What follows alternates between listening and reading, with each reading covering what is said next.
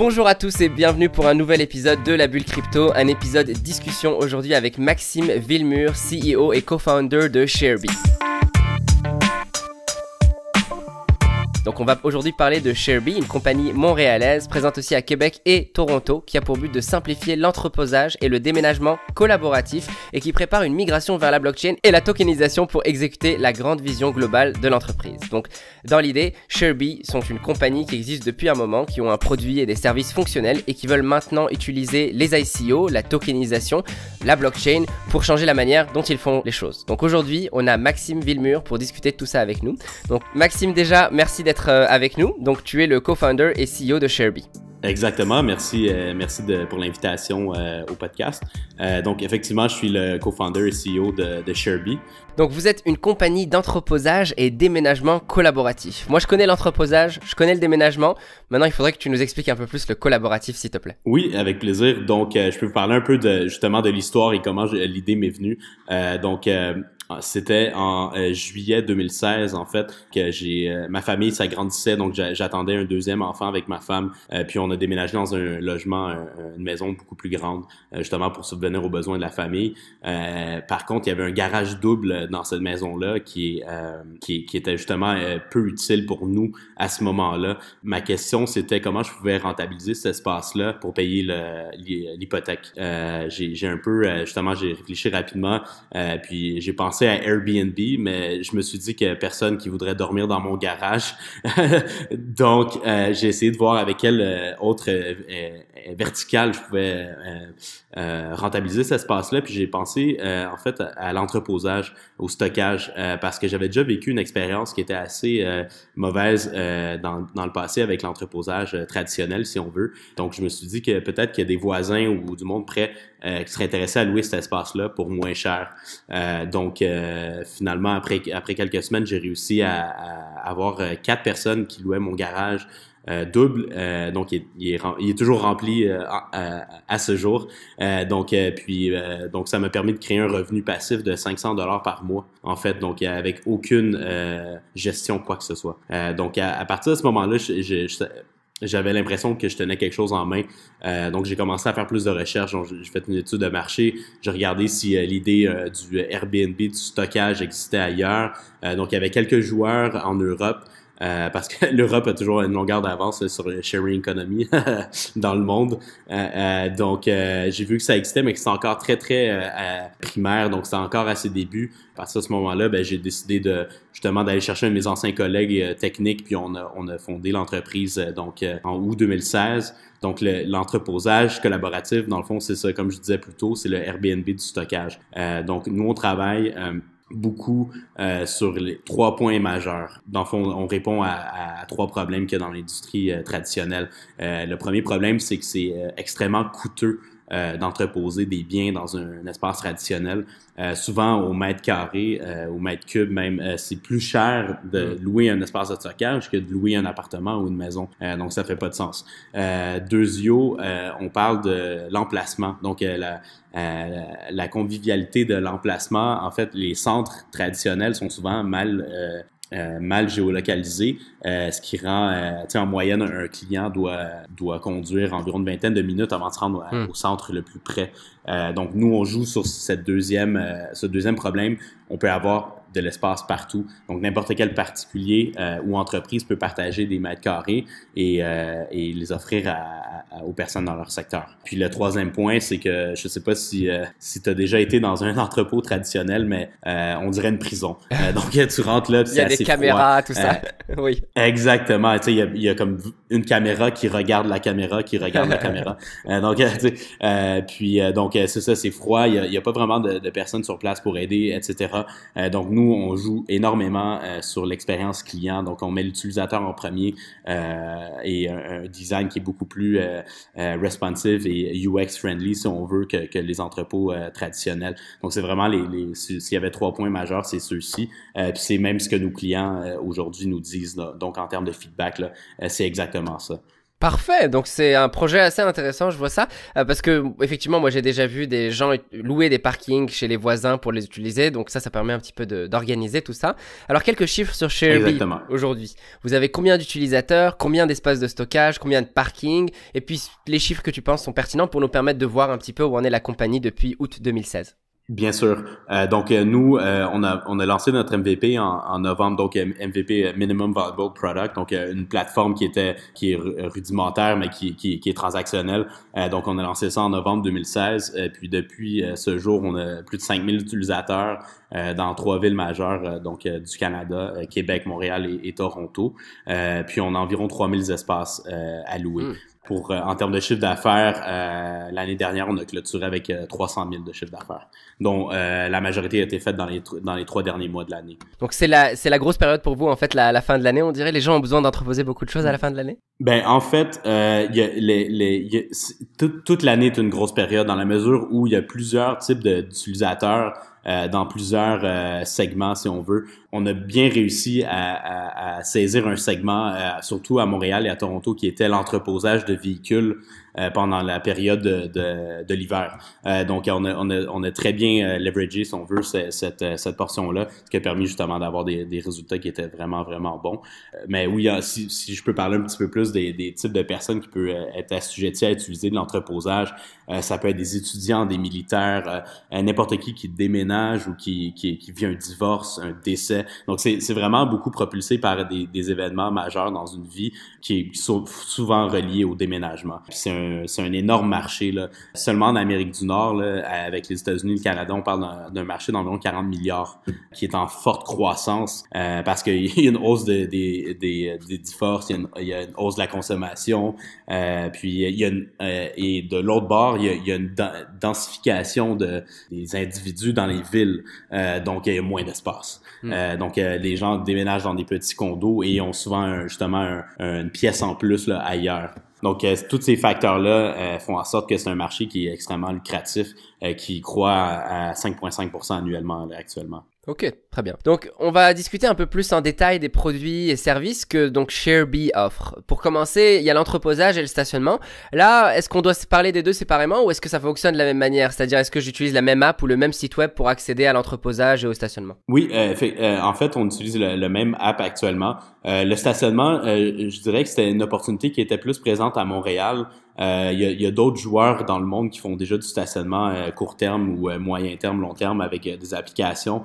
donc, c'est une de ces raisons pourquoi on va plutôt porter notre attention vers le déménagement, qui est aussi une industrie qui qui est justement archaïque, qui n'a pas eu de, de, tournant technologique depuis ben, jusqu'à ce jour, puis qui n'a pas eu vraiment d'évolution depuis des, des, décennies, qui répond aussi à la chaîne de valeur du storage. Le stationnement, on l'a utilisé à Montréal parce que ça faisait du sens, il n'y a pas de joueur majeur. Euh, puis c'est justement, ça rentre dans notre mission de rentabiliser l'espace inutilisé, mais on va pas le scaler dans le monde euh, parce qu'il y a déjà des joueurs présents. Donc on va porter plus notre attention vers le déménagement. Donc, entreposage, déménagement. Et tout ça, ça fonctionne de la manière donc comme Airbnb, on va dire, si je peux me permettre de comparer. J'ai un site web, une app. Oui, oui, c'est très similaire à Airbnb. Donc euh, je peux vous donner peut-être un, un, code d'utilisation. Euh, exemple, euh, une étudiante qui va faire un stage euh, à l'extérieur, par exemple en France, elle part de Montréal, donc elle s'en va six mois finir sa maîtrise, donc elle a besoin d'entreposer ses biens parce qu'elle quitte son, appartement. donc la, personne va aller sur notre application, donc elle va pouvoir directement, on la géolocalise, puis elle va pouvoir trouver des espaces euh, près, de, près de chez elle. Euh, donc, tout ce qu'elle a à faire, c'est d'aller sur le listing. Elle peut soit directement booker ou envoyer un message au propriétaire. Euh, puis, nos propriétaires répondent en moyenne euh, entre 24 et 48 heures maximum.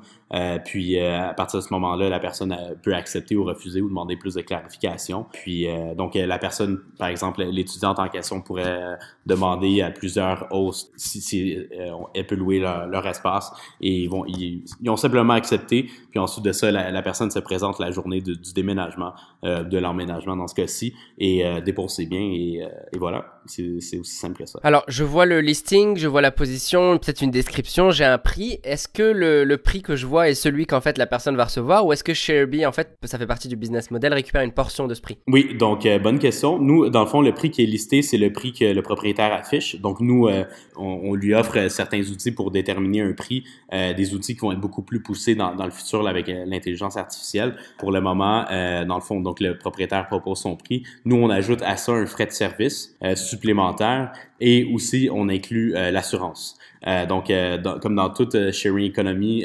l'assurance est un, un, élément très clé mm. pour, si on veut, s'assurer qu'il y a une certaine sécurité sur la plateforme pour les utilisateurs.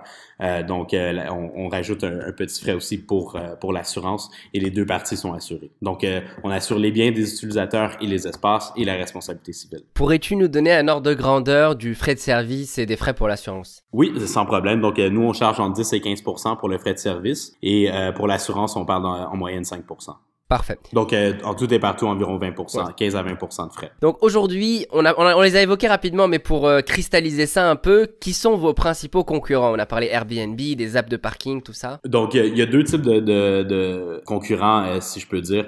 donc, premièrement, il y a les espaces d'entreposage traditionnels. donc, les publics entrepôts à Montréal, par exemple, de, de ce monde.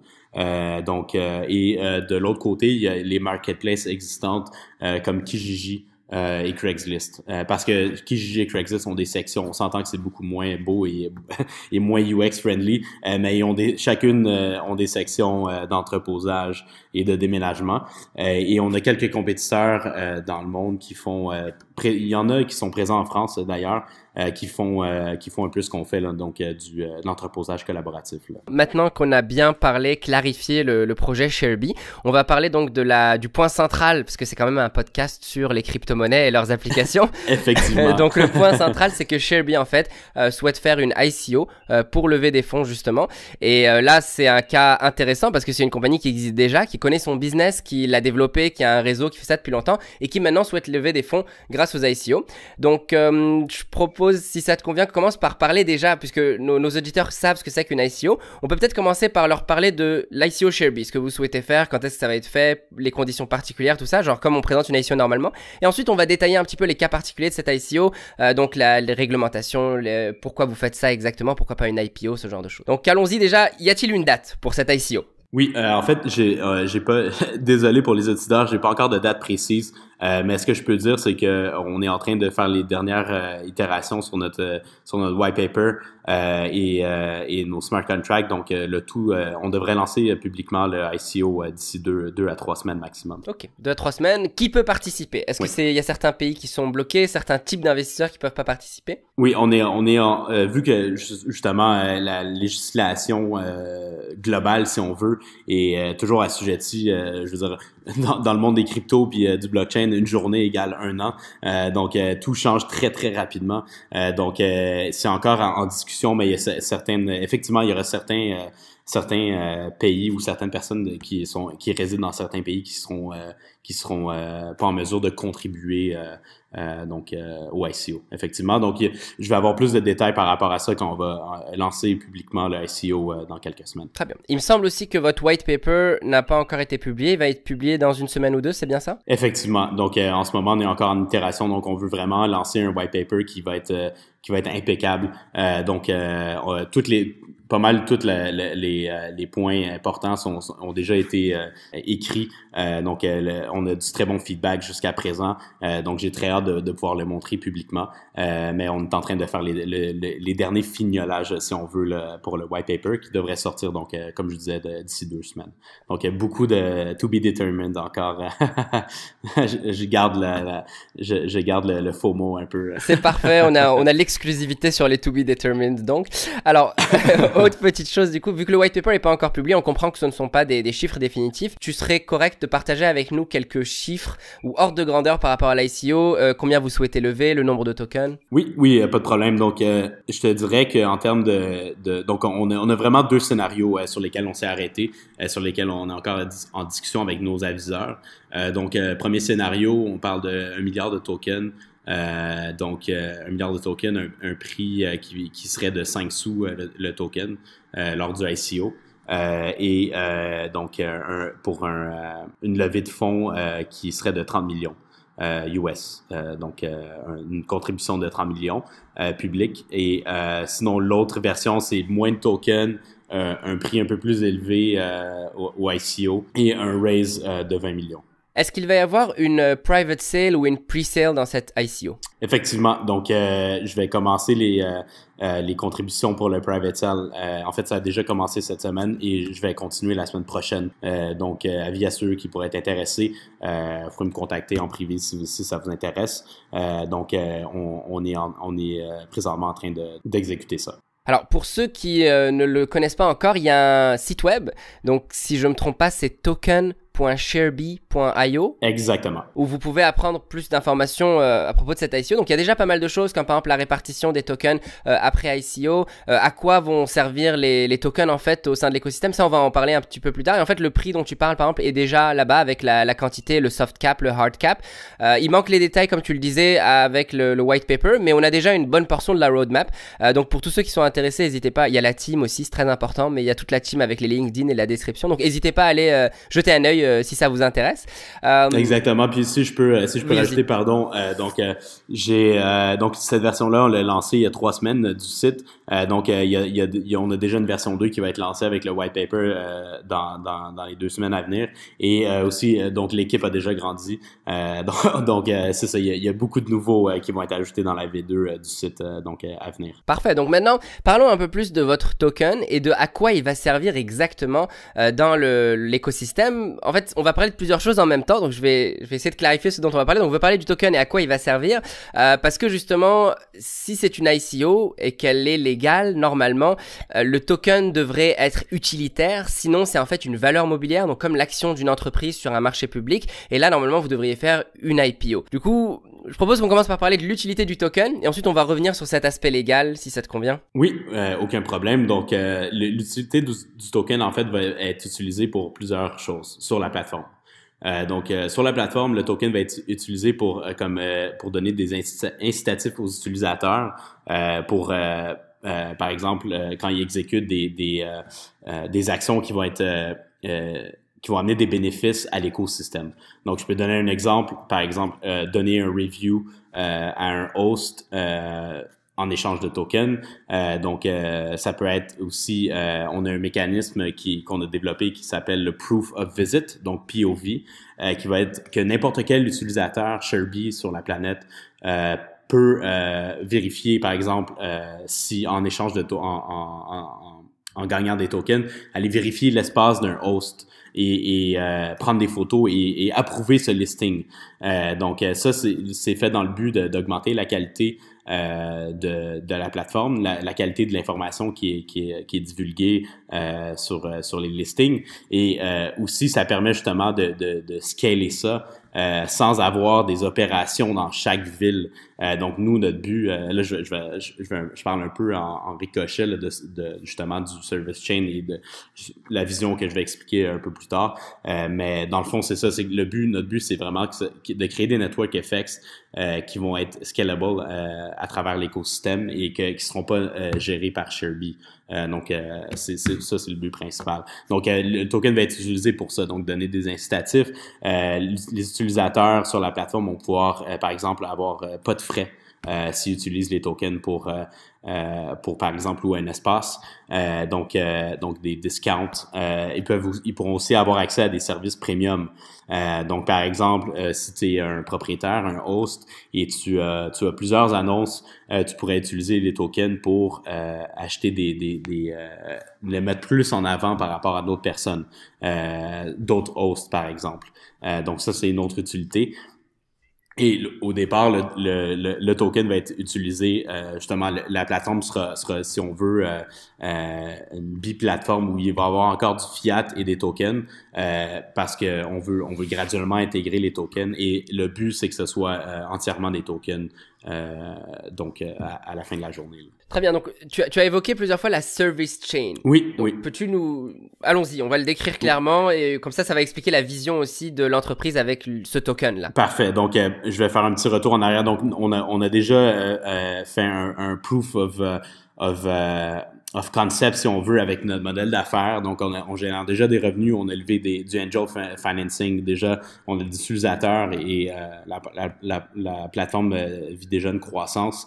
et la, la vision que j'avais de, de, justement de Sherby et du marché était une vision plus global que uniquement de l'entreposage. Donc moi, mon but, c'était vraiment de répondre à la chaîne de valeur totale euh, qui est l'entreposage et des éléments clés comme par exemple le déménagement, euh, qui est en soi aussi un marché qui est, qui, est, qui est, énorme et qui est justement prêt à être disrupté, si on veut. Euh, donc, mm-hmm. euh, fait extrêmement complémentaire euh, à l'entreposage. Et d'autre part, excuse-moi, il y a tous les services euh, connexes, donc les third-party services, comme par exemple l'assurance, euh, il y a la location de camions et de véhicules, euh, il y a la location euh, d'objets de, de, déménagement ou, euh, par exemple, des boîtes, euh, des, euh, du matériel pour déménager et entreposer. Donc, le token Shareby va être comme un carburant pour l'intégralité de cet écosystème où il y a toutes ces choses qui sont interconnectées et le token Shareby va permettre de naviguer en fait entre ces choses pour un utilisateur. Exactement. Même en fait tu as tout compris. Puis donc, si je peux peut-être te, te, montrer un cas d'utilisation par-dessus ça, on veut, on veut intégrer aussi. Euh, donc, nous, on travaille vraiment beaucoup sur l'expérience utilisateur. Euh, entreposer, déménager, c'est pas nécessairement quelque chose de positif dans la vie des gens. En général, c'est euh, le déménagement, en fait, il est noté comme la deuxième chose la plus stressante dans la vie de quelqu'un. Euh, Donc, nous, notre but, c'est vraiment d'apaiser ce stress-là euh, à la fin de la journée, puis d'offrir un service qui est qui est, qui est sans réflexion et que la personne va avoir la, la, la tête tranquille. Euh, donc, par-dessus ces, trois euh, euh, vecteurs de, la chaîne de service, on va, on va intégrer un, un, un, AI, en fait, qui va être un guide qui va s'appeler le, le Sherby Genie. OK? Donc, par exemple, au lieu, si moi je, m'appelle Béatrice, puis écoute, j'ai, euh, je viens de vivre un divorce et là j'ai besoin de déménager, j'ai besoin d'entreposer, j'ai besoin de matériel pour tout ça, euh, puis je veux être sécuritaire, puis je veux, je veux avoir de l'assurance pour mes biens, etc. Tu sais, je, vis déjà quelque chose d'émotionnellement fort, j'ai pas envie de, de gérer nécessairement toutes ces affaires là. Donc là, la personne va arriver sur la plateforme, sur l'application, euh, puis on va on va lui poser quelques questions. Donc ça va être un peu un, ça va être sous forme de chatbot. Euh, donc on va lui poser des questions, euh, euh par exemple quel type de bien qu'elle veut entreposer. Euh, puis on veut même intégrer un élément de parce qu'à l'interne on a aussi des spécialistes en AR, donc en réalité augmentée, des des, des, applications par exemple qui permettraient de prendre en photo ou de, de filmer les objets. puis on pourrait directement fetcher combien d'espace la personne a besoin, par exemple. donc on, hmm. on veut on veut intégrer ça. Euh, puis le but, c'est en fait d'enlever le, le, poids, du, le fardeau, en fait, d'avoir à répondre à des questions que la majorité du monde n'a aucune réponse. Par exemple, combien d'espace j'ai besoin avec les objets que j'ai, que je possède actuellement? Combien de déménageurs j'ai besoin euh, réellement et, non, et non, euh, pour pas en, en commander plus en fait? Donc pas commander plus d'espace, pas commander plus euh, de, de avoir un plus gros camion et avoir plus de déménageurs que nécessaire. Donc, on va lui poser des questions, on va être en mesure d'avoir toute l'information nécessaire pour pouvoir lui proposer euh, donc un, mécanisme de push et non, de pull. Euh, on va lui proposer exactement tout ce qu'elle a besoin et, du moment où elle, donc euh, par exemple, on va lui dire tu as besoin de tel type d'assurance, tu as besoin de, de 100 boîtes avec tel type de matériel, tu as besoin d'avoir deux déménageurs et voici trois espaces Sherby près de chez toi pour entreposer une partie de tes meubles. Si je comprends bien, ce qui est génial ici, c'est que d'habitude, je suis obligé moi d'aller interagir avec plein de différents acteurs pour avoir ces informations et encore, j'y arrive pas toujours. Alors que là, j'ai juste à acheter des tokens Sherby et tout ça, ça s'ouvre à moi automatiquement. Exactement. Puis euh, c'est ça. Donc cette portion-là, puis on va même justement un peu un peu plus loin en, en éliminant tout les, le fardeau du questionnement sur l'utilisateur. Donc on lui on va lui proposer exactement ce qu'il a besoin pour éliminer hmm. complètement l'élément de, de, de décisionnel là, qui peut être un fardeau, surtout encore plus quand tu vis une, une, une séparation ou un divorce. Euh, dans ce cas-ci.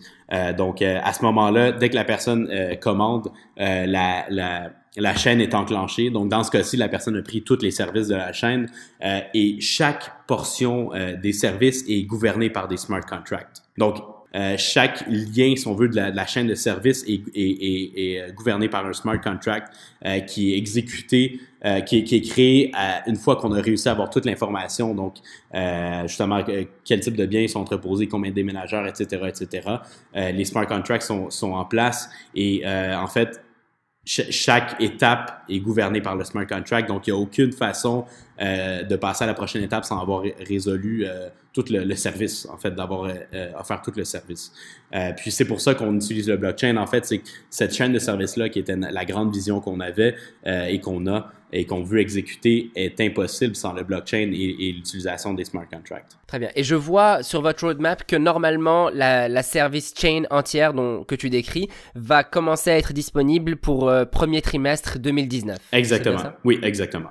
D'ici là aussi, normalement, vous auriez déjà accompli d'ici premier trimestre 2019 le Canada Wide Expansion, donc l'expansion de ShareBee sur le Canada entier. Oui, exactement. Donc, on veut les, parce que notre modèle d'affaires fonctionne bien dans les villes euh, majeures où il y a une forte densité de population et où euh, il, y a, il y a des euh, le, où le prix du, de l'immobilier est très cher. Euh, donc on, est déjà dans quelques villes principales comme Montréal, Québec, Toronto, comme je l'ai mentionné plus tôt. donc les prochaines villes, la prochaine ville en fait qu'on va on va pénétrer plus à Toronto parce que c'est un très très bon marché. On va aller aussi à Vancouver et ensuite de ça on va on va commencer notre expansion aux États-Unis. Actuellement, une compagnie, elle doit continuer à faire des revenus et même des profits pour continuer à exister pour continuer à subsister. Mais dans votre cas, vous allez ouvrir cet euh, écosystème, cette service chain, euh, de telle sorte à ce qu'elle puisse être utilisée par n'importe qui, sans forcément que la compagnie Sherby soit impliquée, si je comprends bien, n'est-ce pas? Exactement. En fait, la vision euh, moyen long terme, en fait, c'est que Sherby va devenir un, participant de l'écosystème. Mais comment la compagnie Sherby va continuer à accomplir ce, ce besoin de rentrer des revenus et des profits? Ben en fait, c'est que la compagnie Sherby va continuer à offrir des services dans l'écosystème. Donc le, le, le, pourcentage de 20% dont on parlait tout à l'heure sera toujours prélevé, mais sera peut-être prélevé par exemple en Sherby token au lieu de dollars, par exemple, une fois que la plateforme sera complètement passée sur les tokens? Exactement. Ok. Donc, euh, je peux donner un exemple. Euh, N'importe quel, euh, euh par exemple, déménageur professionnel euh, pourrait s'intégrer à notre plateforme. N'importe quelle, euh, au final, euh, euh compagnie d'assurance ou compagnie de location de camions, par exemple, on a déjà des partenariats en place, par exemple, avec une compagnie connue au Canada qui est Discount, donc location de camions. Donc qu'on voit partout dans les rues, les camions avec Discount écrit dessus en grand. exactement, exactement. donc, puis nous, dans le fond, où on voit, parce qu'il y a un élément aussi du, du déménagement qu'on veut euh, qu'on veut disrupt en fait aussi, c'est euh, que n'importe quel utilisateur Sherby pourrait devenir un Sherby mover, donc un déménageur Sherby. Euh, donc pensez un peu comme Uber du déménagement. Euh, donc le, le but là-dedans aussi, c'est que euh, le déménagement est souvent un service traditionnel, est souvent un service qui coûte cher, où les gens n'ont pas nécessairement confiance, euh, etc., etc. Donc un peu les mêmes problèmes qu'on trouve dans l'entreposage traditionnel. Euh, et euh, donc le, le, le, but, ce serait justement d'avoir des, des, déménageurs avec des reviews sur le sur le blockchain. N'importe qui pourrait devenir un déménageur. N'importe qui a déménagé dans sa vie déjà soi-même. Je suis pas mal sûr que toi, tu as déjà déménagé. Je l'ai déjà fait à plusieurs reprises. Euh, donc, euh, c'est ça. Donc, un peu, on veut aussi euh, essayer de créer un Uber du, déménagement. Très bien, bah, c'est vraiment dans l'économie de partage et l'économie circulaire là. Très bien. Donc maintenant, retour sur la partie ICO légalité. Déjà, pourquoi faites-vous une ICO et pas une IPO Qu'est-ce qui a tourné votre compagnie dans cette direction? Euh, donc, la ben, blockchain particulièrement? Oui, c'est ça exactement. C'est vraiment la blockchain et euh, justement le, le, fait que euh, pour être certain, tu sais, dans, dans un sharing economy, dans un écosystème aussi gros que qu'on veut bâtir, le, il y a trois éléments qui sont extrêmement importants. donc, il y a l'imitabilité des reviews et des contrats. il y a, il y a le, le facteur de ce qu'on appelle en anglais le trustlessness. donc, la qui n'a qui a pas besoin d'avoir un élément de, de, confiance dans la plateforme parce que tout, tout est, est, est, de confiance, en fait. Euh, donc, euh, ça, c'est des éléments qui sont vraiment importants, euh, qui qui sont pas possibles sans l'utilisation de la blockchain. Euh, donc, c'est vraiment... Euh, puis, c'est aussi une façon euh, de, de, pouvoir scaler euh, sans avoir à, par exemple, je peux donner un exemple euh, avec l'utilisation du token, là, bien évidemment, euh, pour les méthodes de paiement. Donc, euh, si, on veut scaler partout dans le monde rapidement, euh, on, on, devrait faire des partenariats avec différents types de, de, de services de paiement mm. dans, dans, chaque pays. pays. etc. donc, l'utilisation du token permet de scaler extrêmement rapidement. Déjà, le, le, le sharing economy est un modèle qui peut scaler vite. Avec le blockchain, c'est sur les stéroïdes, littéralement.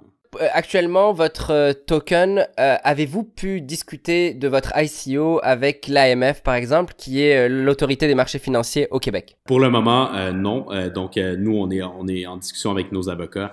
on, a, on, a, on a une firme d'avocats qui est spécialisée dans le blockchain, qui est entre autres les avocats de Ethereum à Toronto. donc, on est très bien entouré au niveau légal. puis, notre token est purement utilitaire. Donc, pour le moment, on est, on est c'est on n'est pas en discussion avec l'AMF. Oui. Étant donné que votre token a une, comme on l'a vu là, on l'a détaillé, une valeur utilitaire forte normalement, il ne devrait pas être considéré comme une valeur mobilière, il ne devrait pas y avoir de, euh, de problème à ce niveau. Donc, peux-tu nous euh, détailler un petit peu comment vous avez déterminé ça? Quelle, euh, quelle méthode vous avez utilisée pour déterminer que votre token est utilitaire et que c'est pas une valeur mobilière? Ben, on, on, a, on a utilisé le, le, test que pas mal tout le monde connaît, là, donc le AWI test. donc, le, token est, est, utilisé sur la plateforme Sherby et aucune proposition d'augmentation de, valeur. Euh, donc, euh, tous ceux qui vont pouvoir contribuer euh, au ICO vont, vont, vont le, token va être utilisé sur la plateforme. Un investisseur aujourd'hui qui s'intéresse à Shareby, pourquoi est-ce qu'il devrait investir dans le projet Shareby? Quel message est-ce que tu as à dire aux potentiels investisseurs? Euh, donc, euh, pour, pour par exemple, ceux qui, aimeraient contribuer pour prendre l'acquisition du token, Sherby, ben, on, a déjà un, un modèle d'affaires qui est émergent, où on a déjà prouvé, justement, comme je disais, le, le, le, concept. donc, on a été capable déjà de scaler dans d'autres villes. donc, c'est certain que ça, ça dérisque énormément pour quelqu'un qui aimerait contribuer ou investir, par exemple, pour acheter des parts dans l'entreprise. on, a, on, a déjà, on a déjà levé du, du capital avec des avec des institutionnels aussi. Euh, je suis en contact avec euh, beaucoup de VC, euh, mais vraiment notre focus est sur, est sur la contribution au niveau du ICO parce que c'est vraiment la vision que j'ai que j'ai expliqué plus tôt est, exécutable seulement sur le blockchain et avec la tokenisation. La tokenisation, c'était c'était vraiment la, prochaine étape logique pour un, un modèle d'affaires comme le nôtre euh, qui permet euh, de, de, grandement euh, euh augmenter le, les network effects. Et une plateforme de sharing economy ne fonctionne pas sans network effect parce que ça ça peut juste pas scaler. donc le token permet de, de, de, rendre ça optimal au niveau du, du network effect. Comme je disais par rapport au token, donc les ceux qui les contributeurs du ICO vont, vont pouvoir recevoir leur token sur un Sherby wallet qui va être sur la plateforme donc, euh, chaque utilisateur Sherby va avoir un Sherby wallet. Euh, il va, et euh, les, utilisateurs vont être en mesure de sortir les, les tokens sur, sur leur propre Ether wallet.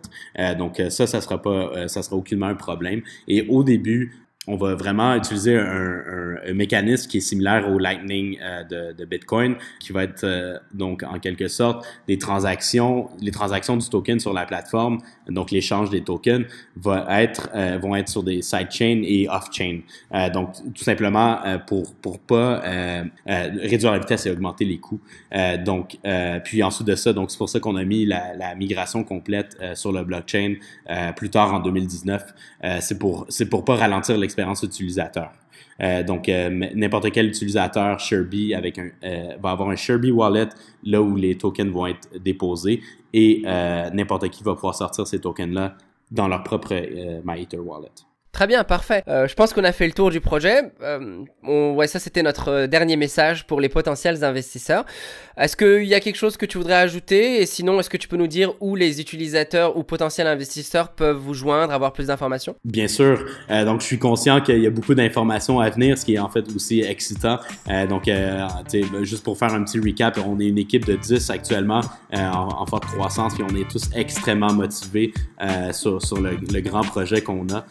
Euh, donc, euh, pour nous rejoindre ou pour nous poser des questions, euh, ça va nous faire plaisir de pouvoir répondre à vos questions.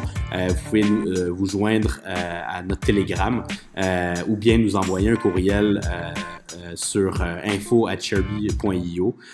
si vous voulez, peut-être que je pourrais remettre le, lien du Telegram pour pouvoir le distribuer aux, personnes qui écoutent le podcast. On va mettre ça dans la description de cet épisode, comme ça il sera juste à un clic. Et eh ben, merci beaucoup pour ton temps et puis on espère que tout va bien se passer pour Sherby. On a hâte de voir les futures informations à propos du projet. Ça fait extrêmement plaisir. Merci beaucoup pour l'invitation. Euh, ça, fait très, ça fait très plaisir. C'est tout pour cet épisode discussion spéciale Sherby. On vous attend maintenant sur notre Telegram ou Discord pour continuer la discussion autour du projet Sherby, euh, le découvrir ensemble et peut-être partager encore plus de détails et d'informations autour de ce projet.